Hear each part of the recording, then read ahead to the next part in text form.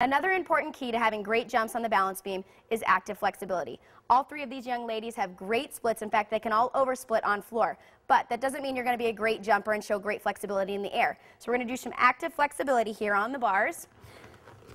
Lexi has two pound ankle weights on. We're going to start with the tuck position, level four jump, quickly going up, up, down, up, down, up, down, up, down, up, down, and hang. The important key about active flexibility is to do everything nice and quick. So we're going to move on to splits and open close. One, two, three. Pull that back leg up.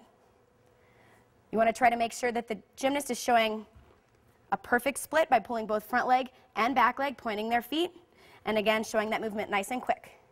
Good, and try the other side. Good, squeeze those knees. Hips are square. You may have to stabilize the gymnast by holding their hips so that they're using the hip flexor and the glute. Very nice. And jump down.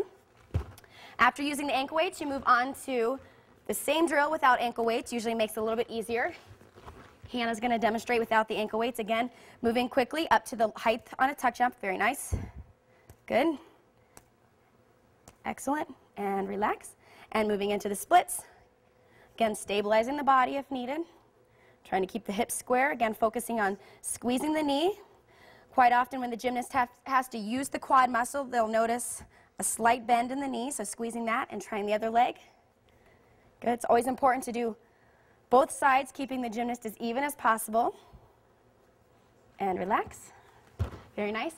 And Haley is going to demonstrate the two types of straddles. We're going to start with the X position first. We're just going to show it. Hips are straight. We're not rolling the knees up.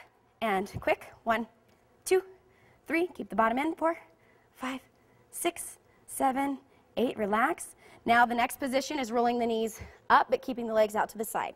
And one, two, three, four, five, six, seven, eight. And relax.